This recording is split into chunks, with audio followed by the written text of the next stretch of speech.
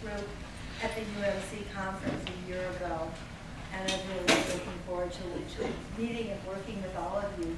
My goal is not just to share some warm fuzzy stories, but for you all to go home with some tools that you can use that take a minute or less, so you might actually use them. if anybody can't hear, there's another seat in the front, because my voice is about as good as it's going to get right now. So, uh, as Pam? Yes. As Pam mentioned, I started doing energy work actually back in the early 90s when I was at UMC. It was kind of a spontaneous thing that happened. I um, grew up in a really non-spiritual household. And then I went to boarding school in Sedona, Arizona about 48 years ago. Back when there was my school, 13 miles of virgin desert, and then a teeny little strip mall, my strip mall that was the entire town of Sedona. So magical things started happening around me, and I started believing that there was something else besides the solid world that my parents had introduced me to. And then there was one other thing that happened in those days that really changed my life, and that's that my boyfriend at the time introduced me to science fiction and fantasy novels. Hmm.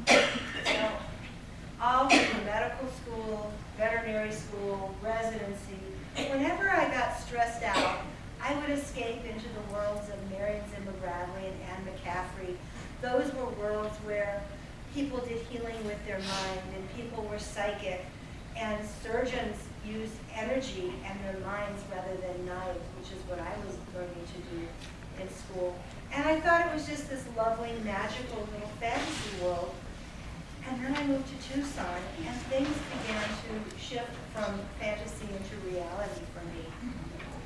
Shortly after moving to Tucson, I took a class at Pima College that was taught by a lady with a PhD in creativity. Her name was Diane Ely. And one of the things she just mentioned in passing when we were chatting was that she could do healing work, that she could channel energy with her hands, and my heart lit up. The only time I met anybody who wasn't some stoned out woo-woo person in the square in New Orleans that claimed to be able to do this stuff was Diane, this bright, educated woman, and I got really excited about it. So she and I met for lunch about a week later, and I asked her about it. She told me a little bit more about how she was able to channel energy from the universe through her body and to other people with her hands to help them get over pain or to feel better. And I said, oh my gosh, can you teach me?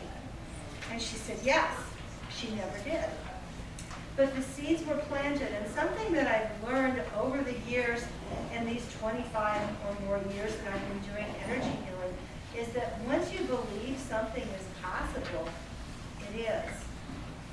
And once I believed that that work was possible, I found that I was able to do it along with a number of other types of healing work that we'll talk about a little bit later. And if somebody can kind of give me a hint when I have half an hour left, that would be nice. Oh, Because we okay. have an hour, yeah? Mm-hmm. Okay. So the first thing I did was learn how to meditate, and I started getting into the habit of every morning before I left my car to go either into work or into UMC, where I was practicing as an obstetrician at the time, I would sit and I would do a healing exercise from Shakti Gawain. And I would just sit, close my eyes and meditate and imagine that I was breathing green healing energy from the earth up through the soles of my feet, through my body, and out through the top of my head. And then after a little while, I would shift the way that I was breathing, and I would imagine that I was inhaling the pink creative energies from the universe, and that they were swirling through my body and through my spine, and finally leaving through the soles of my feet out into the center of the earth. And I found myself becoming very peaceful and at ease, and it made me a lot more calm and able to comfortably cope with all of the stresses that came up in my job and in my life. And I never thought really more about it until one day when I was on labor and delivery. Now, I work with a large group of physicians, so whoever was on call spent 24 hours in the hospital taking care of any patients we had who came in in labor. And that, that meant that while I usually met most people once in the office, I didn't know the patients well until they came into labor wing. So one morning I walk in, and the first patient I meet is a little 15-year-old girl in labor. She was absolutely terrified. She had not gone to any of the prenatal classes that she had encouraged to attend. And the only support system she had was her little boyfriend, who didn't have a hair on his chin and looked like he was about 12. And while she was in the back of the gurney, throwing her arms around and screaming in terror and pain, this little boy was shaking on the stool at her side, trying very hard not to cry, but not offering a whole lot of support.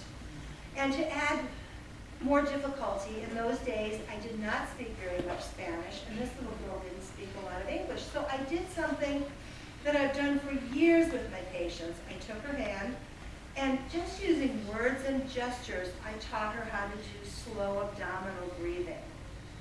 Now, the reason, I think most of you have probably, I assume, done either a little bit of meditation or perhaps Lamaze. And the reason that we always start those practices with slow breathing is because it shifts us into the calm and peaceful part of our, of our nervous system.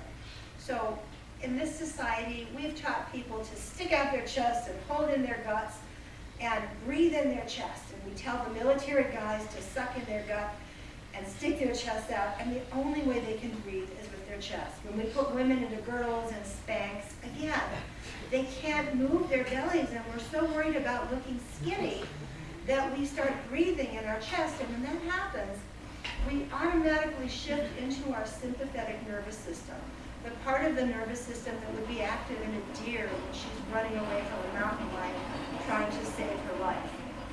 And by shifting our breathing into abdominal breathing, which we'll do in a second, we can actually shift our whole nervous system into the parasympathetic nervous system, the part of the nervous system that's active when a deer is feeling totally safe in a herd grazing in the middle of the field and there are no threats around. So what I'll ask you to do right now is to just put one hand on your abdomen and one on your chest. And if you can try to relax your body a little bit and just take a slow breath. And next, watch me how my top hand doesn't move and my belly hand sticks out until I look like I'm having twins. And if you can do that, you'll automatically shift into your parasympathetic nervous system and feel much calmer and much more at peace. So just a slow breath Imagine your belly going out while your shoulders and your chest relax. And then let's hold it for a few seconds, and then just exhale slowly.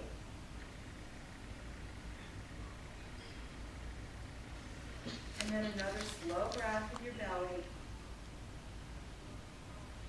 And hold it, hold it, hold it, and now out slowly.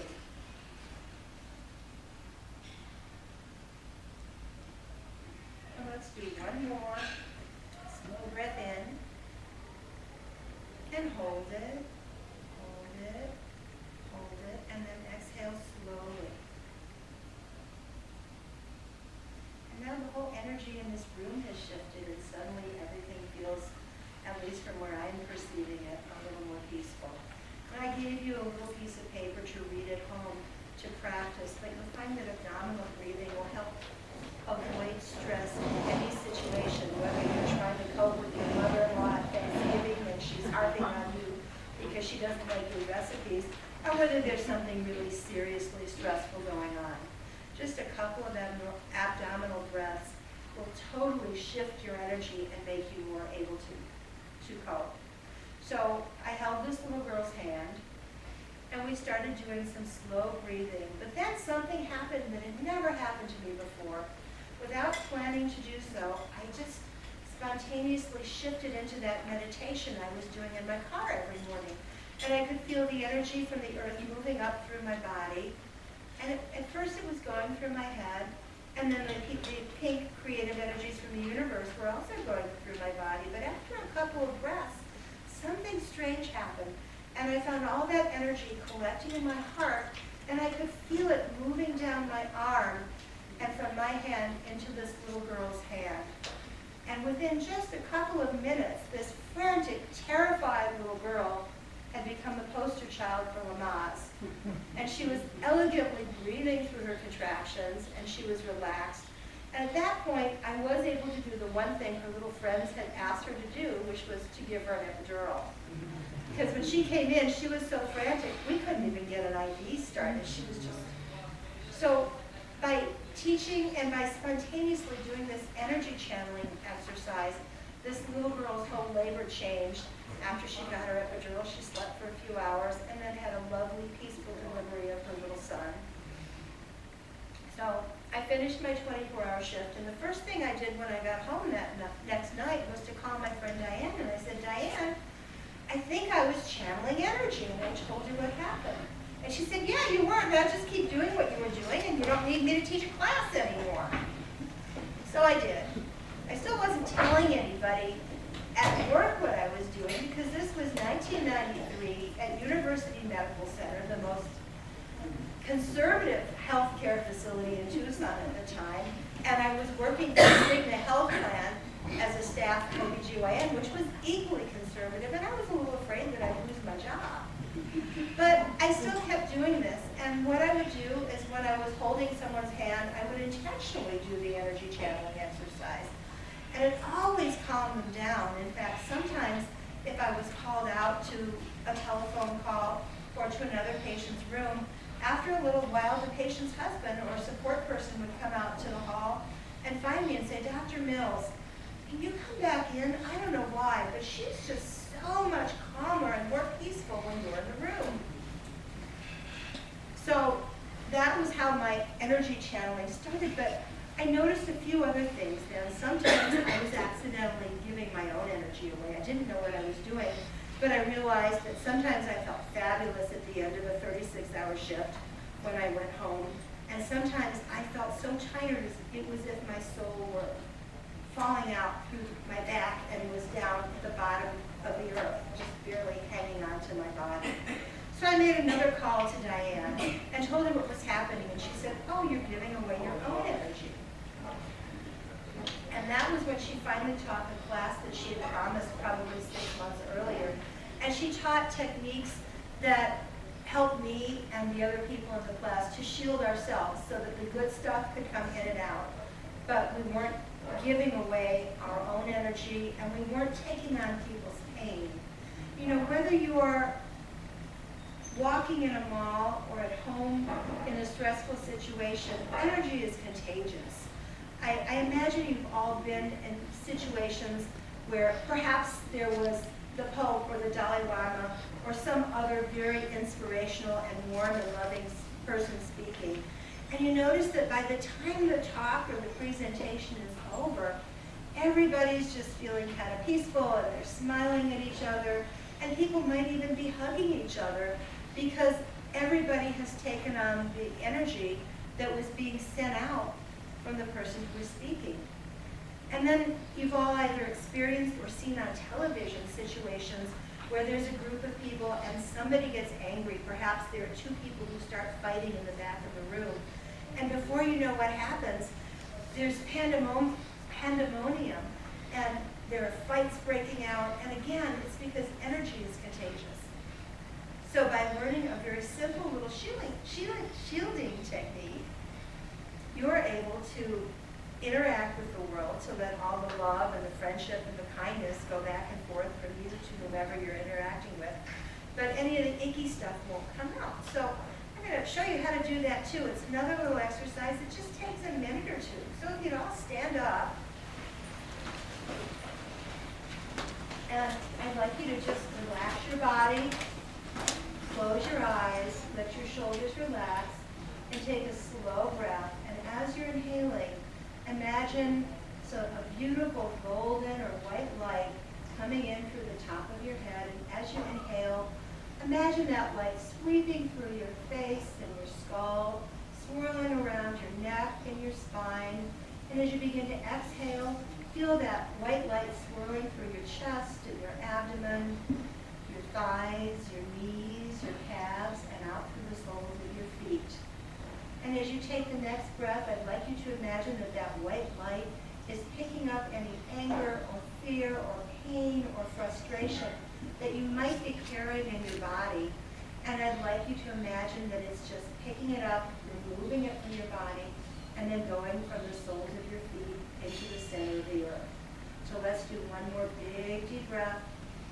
Imagining as you inhale the white light coming through the top of your head, swirling through your face, your skull, and your neck, your shoulders, picking up any energy that you don't need, swirling through your chest, and as it moves to the abdomen, begin to exhale, pushing that white light down, picking up anything you don't want as it moves through your abdomen, and your hips and your pelvis, your thighs, your knees, your calves, your feet, and finally down from the soles of your feet center of the earth.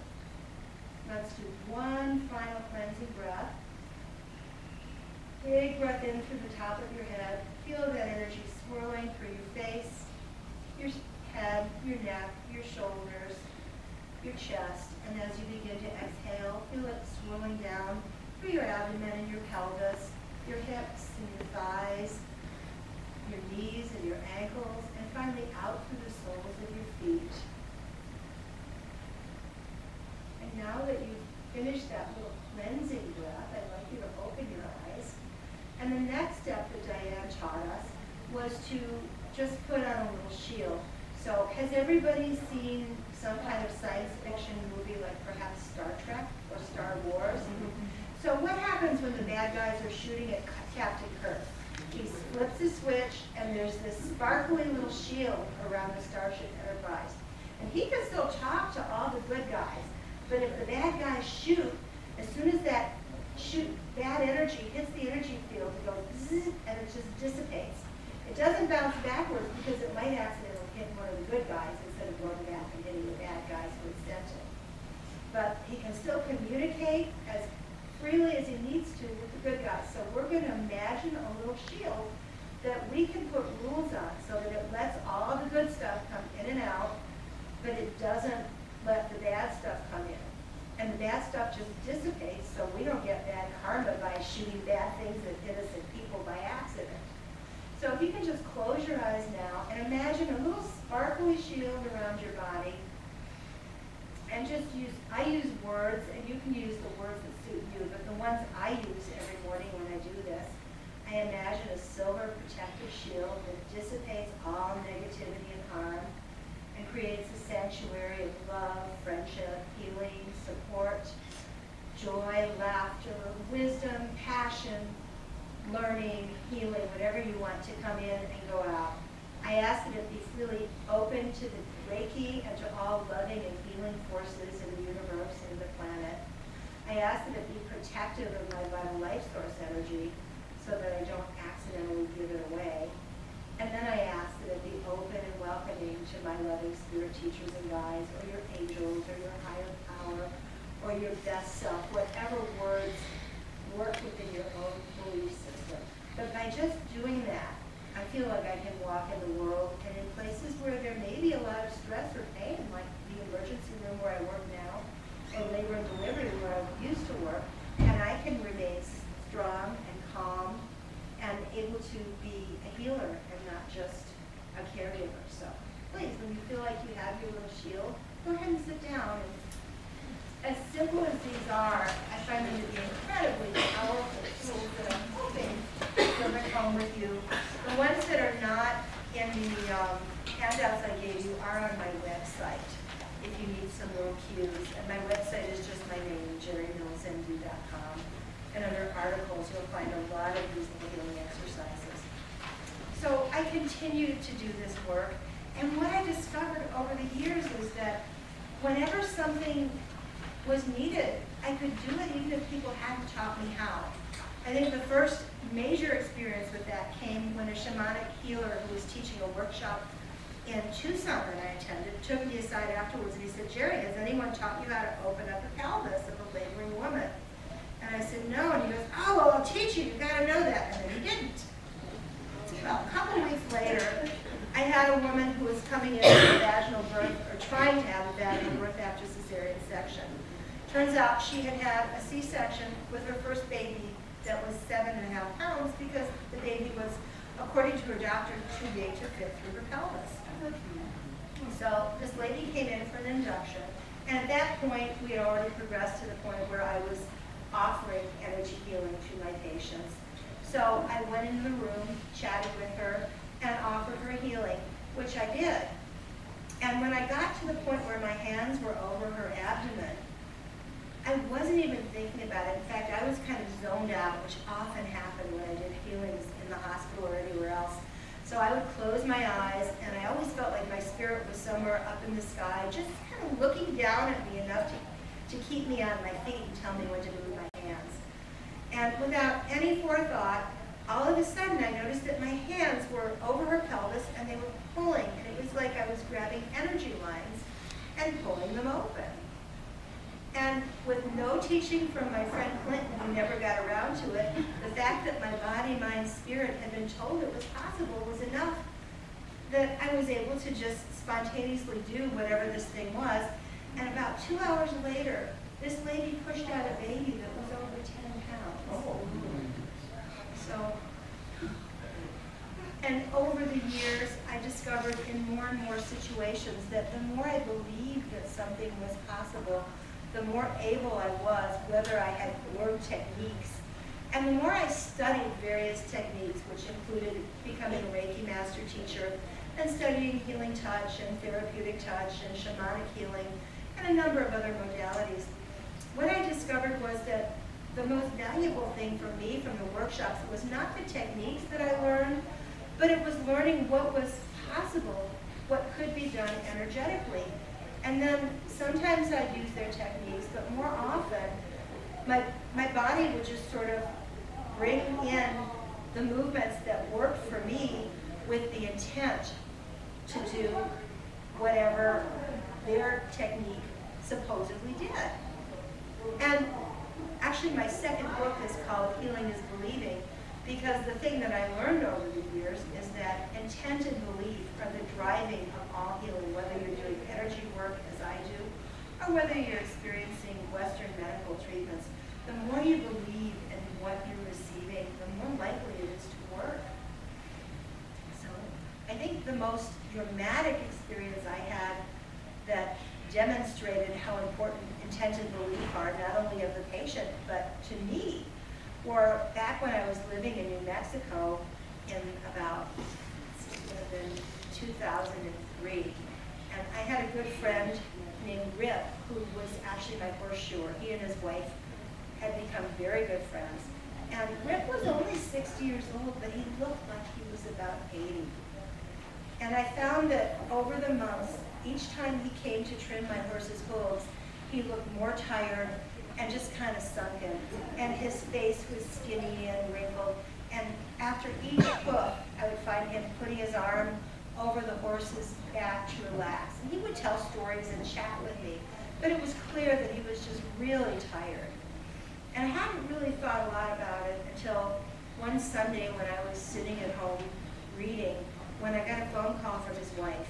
Now, Jamie, his wife, was a horse trainer, and it was the time of year when she was so busy that normally she just barely had time to eat and go to the bathroom between sunrise and sunset because she was so busy working with the horses she was training. But here she called me in the middle of an afternoon, and immediately I knew something was wrong. And of course, since he was so slow moving, I thought, oh my gosh, some thousand pound horse probably got bad, got ill behaved, and knocked him down and stomped on this little old man who couldn't move very well anymore. And I laugh when I say that because I'm 63 now. But he looked like a little old man to me because he was so weak and tired. So the first thing I said when I knew who it was is, oh my gosh, what's wrong? And she said, well, Rip's in the hospital. We were living in Ruidoso, the nearest hospital was that had any kind of more than basic facilities was in Alamogordo. And she said, oh, he's over in Alamogordo. He uh, was getting sicker and sicker and complaining of abdominal pain for months now, but he wouldn't go to the doctor. She said, well, last week I looked at him and his eyes had turned yellow. And I got really disgusted with him, and I told him that if he didn't go to the doctor immediately, I was kicking him out of the hospital and divorcing him. So he finally went to the doctor, and they they examined him, did some blood work, and immediately sent him to Alamogordo for more tests. And the CAT scan that was done in Alamogordo showed a giant tumor in his pancreas. Now, I don't know if any of you have had experience with people, or perhaps yourselves, who've had pancreatic cancer. We've all heard about the loss of both Michael Landon and, um, oh, I'm forgetting, from Ghost, Patrick Swayze. It's a horrible disease. And as soon as she told me that Rip probably had pancreatic cancer, my vision was of him going through a very slow, horrible practice process and dying in a few months. So I said, well, can I come down and do some healing work? And she said, no.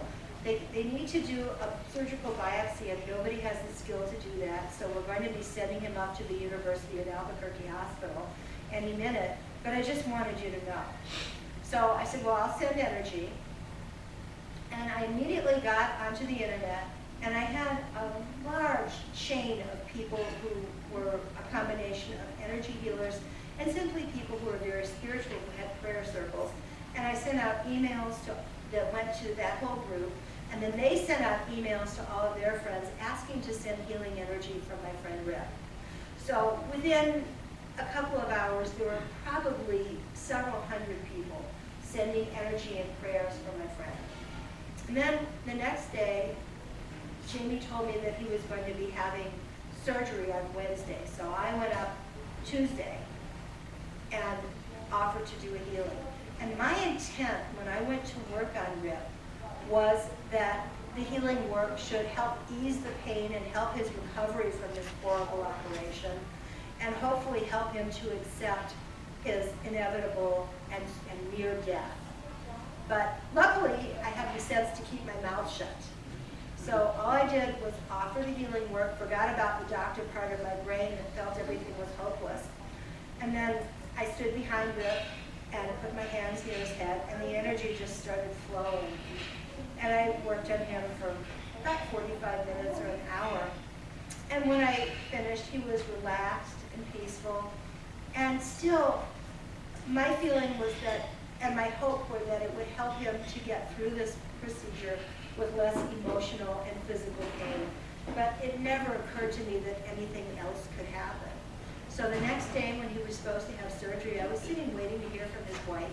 And about eight hours after the operation was scheduled to start, I finally got a phone call from Jamie. And she sounded happy. Thought, oh my God, what's going on? And she goes, he's okay. I said, what? She said, well, you know, the doctor was really surprised. He's been doing cancer surgery for about 30 years. And he told me that when he opened up Rip's abdomen, it looked like a belly full of metastatic cancer. It was in the omentum, which is the tissue that's like an apron that lies over the abdominal organs. And when he felt around, everything just felt like it was hard and full of cancer. And he said that he believed it was hopeless, and if it were up to him, he probably would have just closed up and let Rip go home to die in peace. But the protocol was to do some biopsies, so he did. And he sent a number of biopsies down to the pathologist to get frozen sections and prove what he saw with his senses. And lo and behold, the pathology report came up about 20 minutes later, and it said it was all scar tissue. So the doctor didn't believe that. He'd been doing this for 30 years, and he'd never seen scar tissue that looked like that. So he continued to do more biopsies. He took out all the lymph nodes that felt abnormal.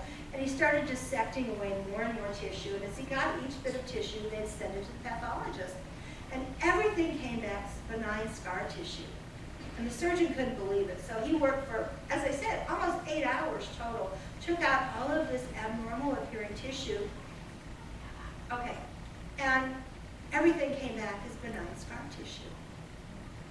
So apparently he kept going, got to the gallbladder, found a few stones in it, and told Jamie, well, it must have been gallbladder disease that caused all this because there's no cancer in your husband. And that may be true because we did not do any biopsies prior to the surgery, obviously.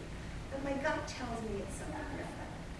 So anyhow, I actually went back to visit him a couple days after surgery to do some more healing work, and the surgeon came in, and I was still thinking, you know, maybe Jamie didn't really understand what he said because it doesn't make sense. And the surgeon came in to make rounds while I was there visiting my friend. And I introduced myself as a family friend and physician. I said, so tell me what happened. And he gave me the same story that Jamie had. He said, 35 years as a cancer surgeon, and I couldn't believe that all these biopsies kept coming back benign. So I kept taking more and more until I had all the abnormal tissue out, and they all came back as scar tissue. And then I found some stones, and I figured it must be the damnedest case of gallbladder disease I've seen in my career, and I'm going to write an article about it. So the story Jamie told me was true. My interpretation was a little different. And again, I can't prove it. But my belief is that with the hundreds of people sending energy, somehow his belief that he would be well as well as their belief that he could get better, had been enough to actually change the cancer, to transmute it. Be that as it may, I'm not telling you to stop doing whatever therapies you're doing. I'm not telling you that you, should, that you don't need radiation or chemotherapy or surgery. But what I am telling you, and what I've seen over the years, and I've been practicing medicine for over 30 years myself, is that when people believe in the treatments that they're receiving, they work better whether it's radiation or chemo or energy healing or a combination of all of the above. Those people who believe they're going to be well are much more likely to heal. It doesn't matter how desperately want to get better. It really helps to believe you're going to get better. So again, this incredible power of intent and belief, and whether it's about energy healing or spirituality or your religion or Western medicine, getting to that place in your mind and your spirit where you can see yourself as healed is going to make a huge difference. And does that mean that 100% of people will be better? No, it doesn't. But it means that you're more likely to do well and to have a better outcome just by putting your energy and your belief into that place. And I'd like to teach you a little visualization now that I use when with my hypnotherapy patients. When I first became a hypnotherapist, my teacher said to me, well, you have to tell them to practice for 30 minutes a day or it won't work. And then my teacher laughed and said, of course, most of them won't practice, so then when the hypnotherapy doesn't work, you can tell them it's their fault, not your fault. I started laughing. But that's not why I was going into the, the field and why I was studying. So I decided that I would come up with some type of homework that they would do. And what I ultimately did was combine a few of my little warm, fuzzy, fuzzy spiritual exercises with something called neuro-linguistic programming, which helps shift the brain into a place where you start visualizing success. So whether I'm working with people who are trying to quit smoking or need help getting over fear so that they're more effective when they take a test, or whether they're getting over a horrible disease, or perhaps a runner who just wants to do better in the next race, by using this very simple visualization technique, they can really shift the outcomes. So I'm going to ask you to close your eyes and take a couple of slow deep breaths. Just relax yourself.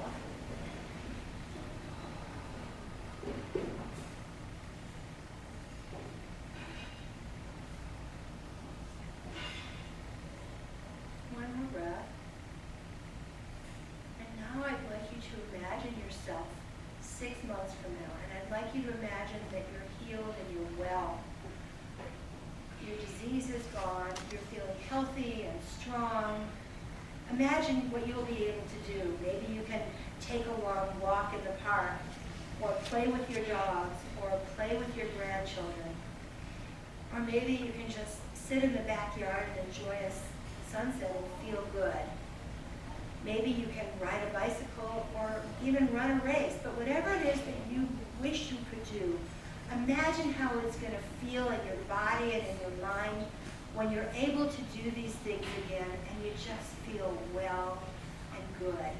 And when you've got an image in your mind of this wonderful feeling of wellness, then I'd like you, with your eyes still closed, to reach out one hand and grab a hold of that feeling and hold it in your fist. And now take that fist and bring it to your heart open it up and put that feeling into your heart. And just feel the joy and the strength and the wellness and the success for whatever you're trying to do filling your heart. And take another slow breath and just relax.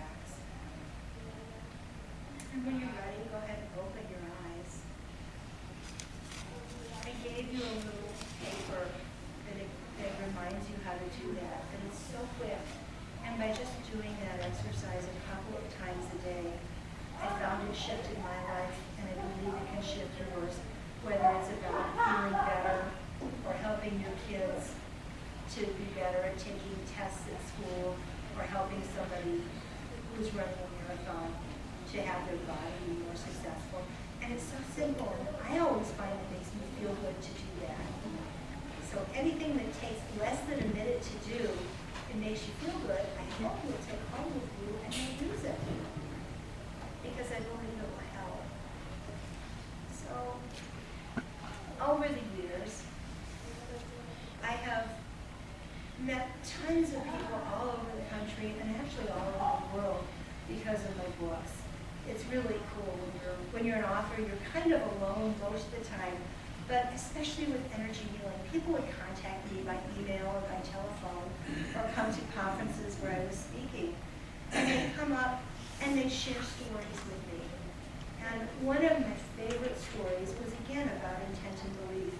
My friend, um, his name I'm blanking on now, but man who was teaching at MD Anderson Cancer Center in Texas was working there as in their integrated medicine department as both a Reiki master teacher and as a Tai Chi instructor. And one of the things that he always taught the people in his Tai Chi classes, and that we both teach all of our Reiki students before we even teach them Reiki, just to get a sense of what energy feels like, is to make little energy balls. And you just kind of bring your hands apart and together, and we'll do that in a minute too. But you feel whatever's between them, and just like you're kind of squishing snow together to compress a snowball, you slowly and gradually bring that energy together until you have a big old energy ball. So Mike Powers was his name, and he was doing that one day in one of his Tai Chi classes at MD Anderson. And all of a sudden, a little 70-year-old lady in the back of the room pipes up. And she says, okay, Mike, now that I have it, what am I supposed to do with it? Well, Mike says, damn, I never thought of that before. I had to pull something out of my back pocket pretty quickly because I was supposed to be the expert. So he says, well, I turned to her and I said, you know, why don't you take that energy ball and put it on your face and neck where they're doing radiation therapy for your cancer.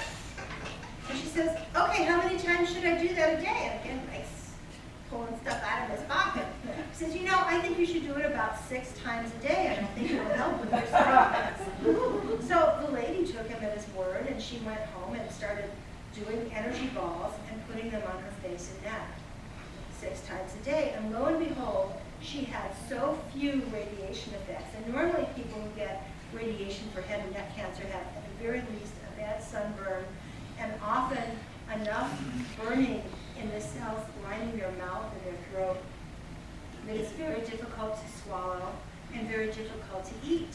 Well, this lady is doing energy balls, and her side effects went away to the point where the doctors were starting to wonder if there was something wrong with their machines.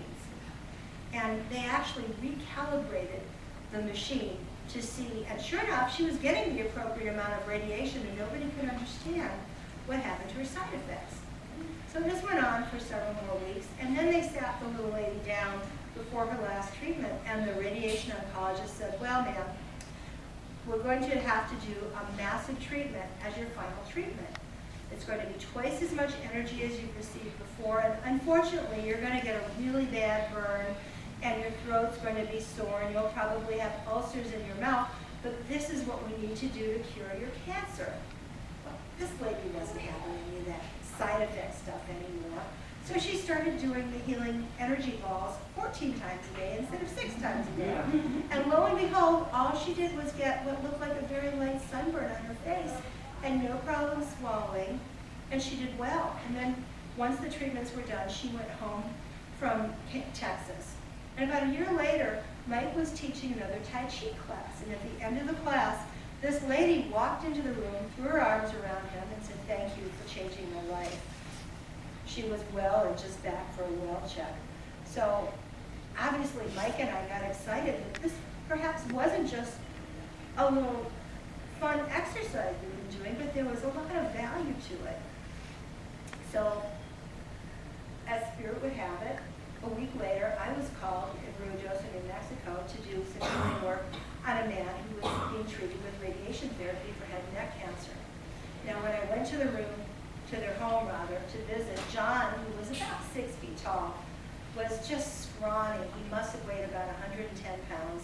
And he was so weak that when he went to get out of his armchair so that he could move to the table where I was going to do some healing work, I thought he was not even going to be able to make it across the room. He was just weak and stumbling, and it was pretty awful.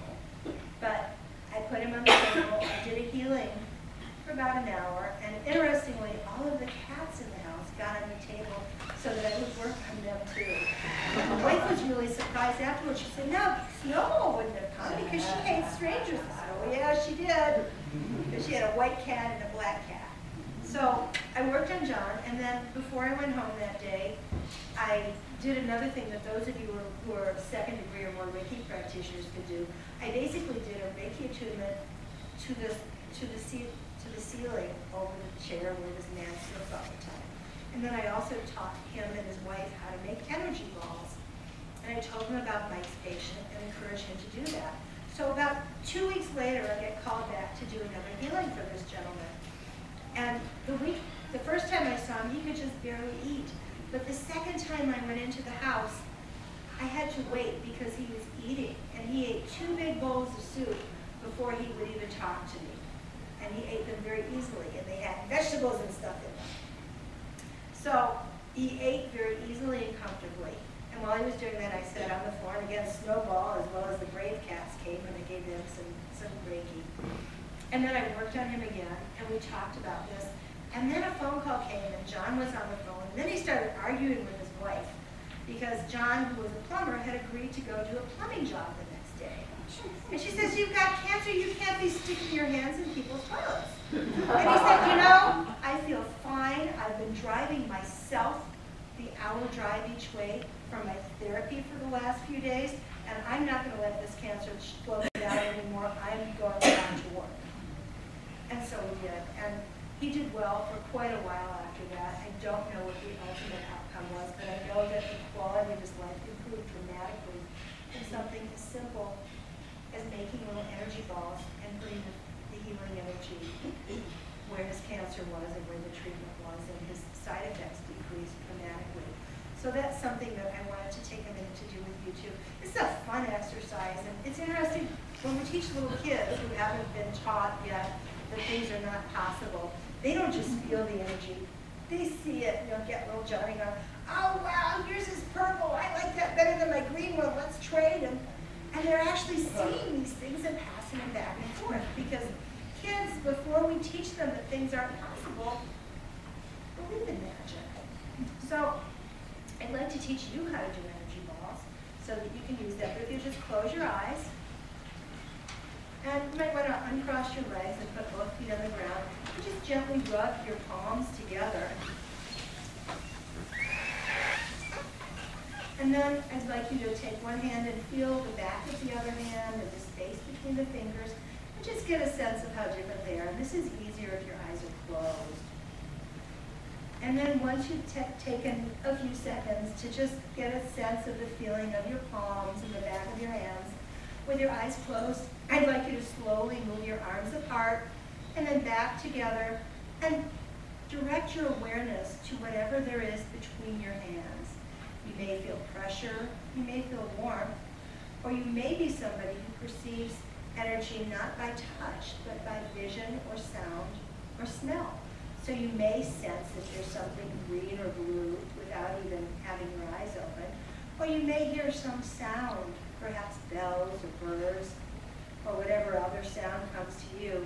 And just slowly move your hands apart And imagine that you're pushing together whatever it is that you're sensing between your palms. And slowly and gradually bring them close together. And imagine that you're compressing whatever this stuff is that's between your hands. And just take a couple of minutes to form whatever this is, whether it's heat or density or color or sound, into a tight little ball that you can hold in your hands. And when you have that ball, I'd like you to put it to some part of your body that needs healing. And if there's no place that you feel needs healing at this moment, then just put it in your heart.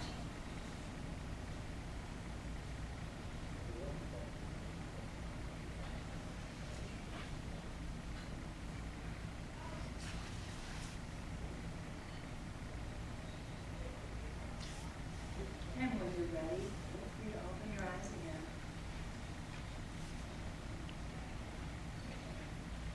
So this is an exercise that's also going to be fun to do with your children and your grandchildren because little kids love this as a way to fix owies and it gives them the power to start taking care of themselves. And it gives all of us that power. So I encourage you again, all of these little exercises, don't take them two seconds. You don't have to sit and meditate for an hour or even a half hour. And you can do a lot of these things as part of your life while you're just moving through your day. That you'll find them to be as helpful as I have over the years. I think I'm going to finish by, by talking you through the, the visualization exercise one last time, and then we'll have time for a few questions. Okay. So Let's close your eyes and just take a few slow, deep breaths.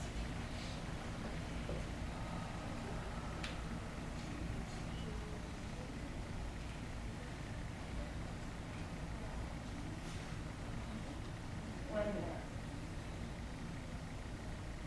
And now I'd like you imagine yourself well and strong.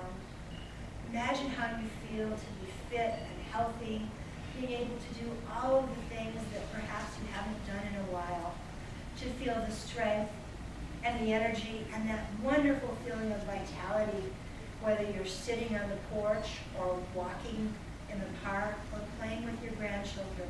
Just imagine how you'll feel and what you'll be able to do as you become whole and strong and well. And once you get a lovely image of yourself healed in your mind, I'd like you to again just out with one hand and grab a hold of that feeling and place it in your heart. And know that whenever you need that little bit of support, it's sitting right there in your heart, waiting for you to access it.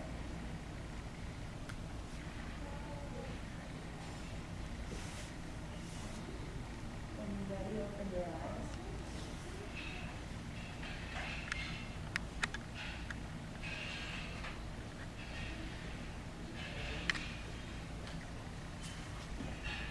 So, I've given you most of these exercises and papers that I sent home.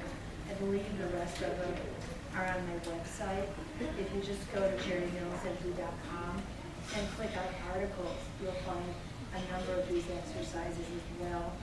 And anything that's not there is in the back half of my second book, Feeling is Believing, which is Kindle, and sometimes I even give them away for free on Amazon.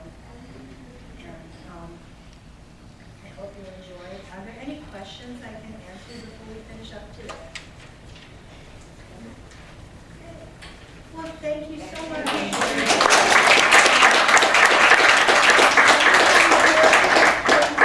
If anybody is interested at all in any of her books, you can talk to Jerry and she'll tell you how you can get them or whatever, okay? And you would have these two away. We have a, yeah, she's telling me now. Jared donated two books. I donated a couple for Edgeworth houses. Oh, awesome. The purple one is the one that has a whole section on strictly healing exercises in the second half. So I hope you enjoy. Okay, which one are we giving away You first? can start with tapestry, that's the one about UMC. Okay, so I have Liza. Oh!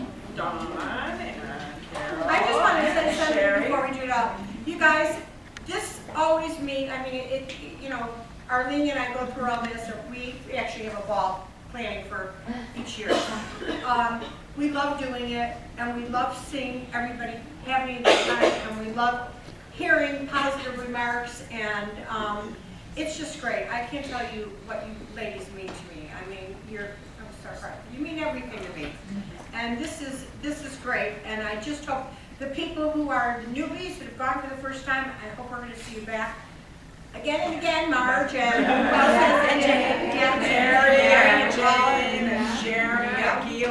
This room is like one big ball of positive energy.